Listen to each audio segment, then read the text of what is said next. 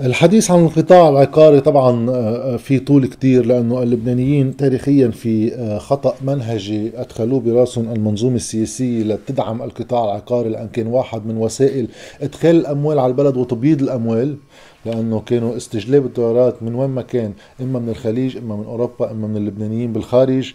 على البلد كان يتم إما عبر استجلاب الودائع من عليلهم الفوائد لنحمس الناس جيبوا مصرياتكم على لبنان بتزيدوا أرباحكم بالفوائد المصرفية. إما آه، حطوهم بالعقار اللبناني فهيدا العقار اللبناني مدعوم من الدولة ومن المصرف المركزي وما بنخليه يقشط. ركبت براس اللبنانيين فكرة إنه العقار ما بحياته بينزل سعره. هذا طبعا منه واقع ومنه حقيقة ولكن كانت سياسة مدعومة آه، من دون معرفة اللبنانيين على الجزء الأكبر منهم. فكانت فعليا أسعار العقارات عم ترتفع أيام لأسباب داخلية أيام لأسباب خارجية ما رح فوت بهذا الشيء. ولكن آه في مقال بجريدة الجمهورية بحطوا مؤشر المبيعات العقارية بلبنان سنة 2020 بنتيجة الأزمة مع أنه بنعرف أنه جزء كتير كبير من اللبنانيين اللي عندهم أموال بالمصارف راحوا تيهربوا هالمصريات من بعد ما حجزت عليها المصارف عبر شراء عقارات. اللي كان محمس يبيع عقاره هو اللي عليه قرض لأنه عبر هالبيع العقار بجيب أموال ما بيحبسها بالبنك.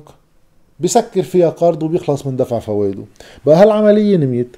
بهذا المقال بيقولوا مؤشر المبيعات العقارية سجل نموا بنسبة 112.7% خلال الأشهر التسعة الأولى من عام 2020 يعني من شهر واحد لشهر تسعة 2020 بالمقارنة مع نفس الفترة من سنة 2019 إذا واضح أنه صار في حركة عقارية زايدة خلال أول تسعة أشهر والسبب هو اللي حكيناه واضح. عدد المبيعات ارتفعت. عم نحكي عن هاي الفترة التسعة أشهر الأول من 2019 والتسعة أشهر الأول من 2020 من 36952 عملية بيع صاروا بأول تسعة أشهر من 2019 ل 55108 عملية صاروا بال 2020 بأول تسعة أشهر. إذا الارتفاع تقريبا هو بحوالي 19000 عقار زيادة من بعين أما ال 112% الارتفاع هو على قيمة المبيعات العقارية اللي سجلت 10 مليار دولار قيمة البيوعات العقارية بالأشهر التسعة الأولى. الملاحظة هون إنه أول شيء رقم العشرة مليار منه واقعي لأنه الناس نحن بنعرف ببلد هون ما حدا تقريبا بسجل عقاره بقيمته. بسجله دائما أقل من قيمته ليدفع عليه رسوم أقل لأنه الرسوم هي نسبة من سعر العقار. اذا رقم العشرة مليار في يكون يوصل لحدود العشرين مليار.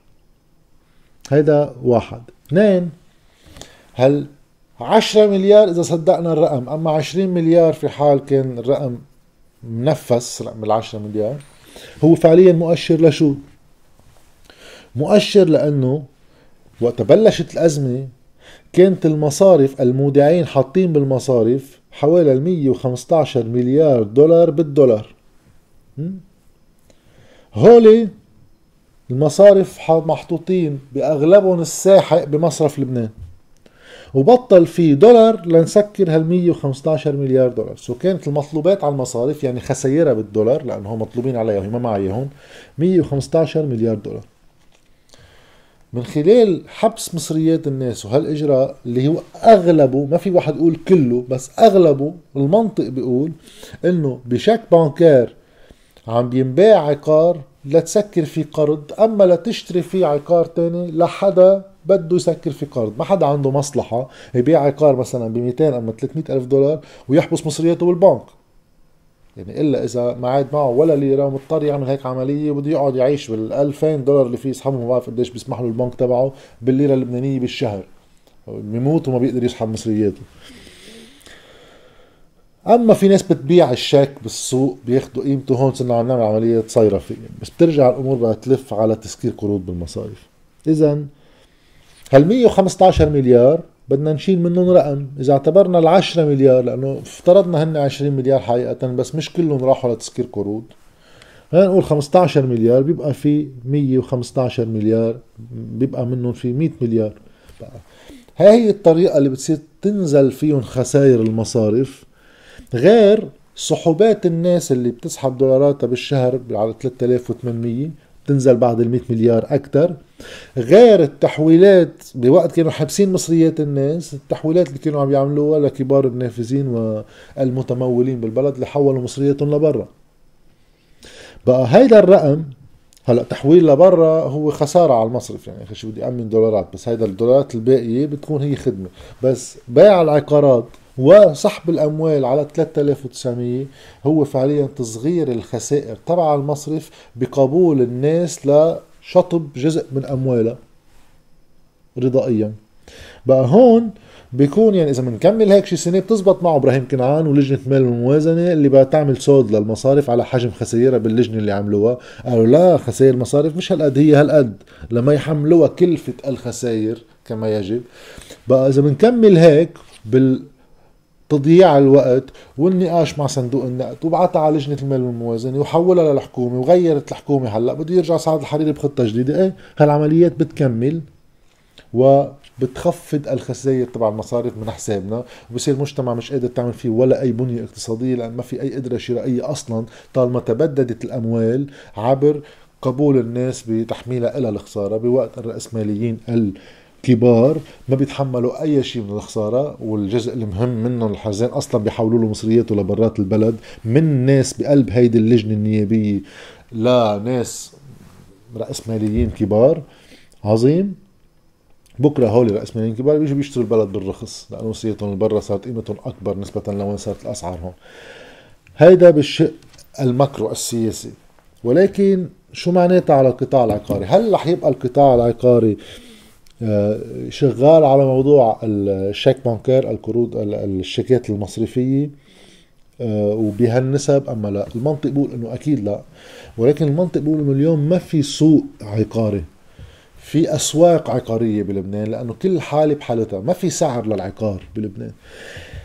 لا صاحب الأرض اللي ما عنده قرض بالبنك بطل يهمه ابدا الشيك المصرفي. طبيعة الحال. لأنه شو بدي آخذ مصريات احبسهم بالبنك شو بدي شغلة؟ صار مستعد يبيع إذا مستعد يبيع مقابل دولارات حقيقية الكاش. هذا الكاش صعوبة توفره بتأدي إنه الطلب على العقار يقل. بهيدي الشروط. أما في ناس بعد عليها لليوم قروض بالمصرف. في المطورين العقاريين اللي كان بعد باقي لهم 20% من مشروعهم آه، آه، ينجز أنجزوه هلأ ولأنه أسعار السلع اللي مرتبطة بالقطاع العقاري صارت جدا غالية. آه، عليهم قروض بدهم يسكروا جزء منها. بقى رح يبقى في شخص مستعد ياخذ شيك bancaire رح يبقى في شخص منه مستعد ياخذ شيك bancaire اليوم نحن بمرحلة انتقالية. ولكن التوجه هو إنه من هلا لهيدي السنة اللي جاية مفروض. الشيك bancaire تدريجيا بدها تبلش قيمته تنخفض لمحل تزول تقريبا لأنه بطل حدا مستعد يحبس دولارات غيره عنده بحسابه بشيك bancaire. فبتزيد قيمة الكاش. هيدي العملية المفروض تصير بالشيء التدريجي اللي بلشنا نشوفه اليوم. الناس مستعدة تبيع عقاراتها ب 90% بشيك bancaire و10% كاش. هيدا الرقم ال 10% رح يصير يزيد.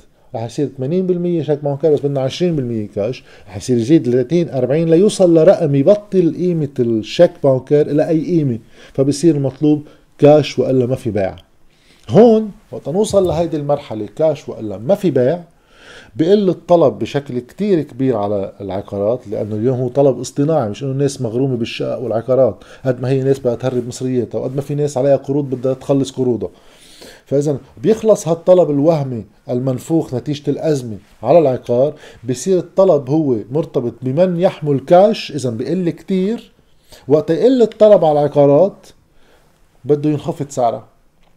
بس بصير سعر حقيقي بصير سعر مرتبط بدولار حقيقي. وهونيك بصير سعر العقار مرتبط بشكل أساسي بالأموال اللي بتجي من الخارج. آه، لبنانيين ما بيقدروا يفتحوا حسابات بمحل بهالكره الأرضية نتيجة أعمالهم اللي ما بتقبل المصارف الغربية ولا الأجنبية تحط لهم تفتح لهم حسابات فيها. أما بعض اللبنانيين رح يبلشوا يلاقوا أنه في فرصة للاستثمار بالقطاع العقاري ليكوا أسعاره قديش وطيت. وهيدي المشكلة واجهتها كل البلاد اللي قطعت بأزمات مالية من النوع اللي نحن عم نقطع فيه من اليونان وغيرها اللي دائما بتنعطى مثل على أوضاعنا.